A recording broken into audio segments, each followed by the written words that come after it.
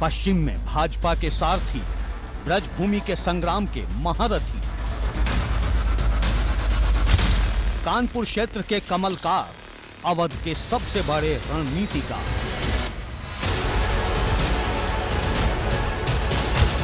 जो काशी में लगाएँगे नैया पार, जिस पर गोरखपुर क्षेत्र का दारोमदार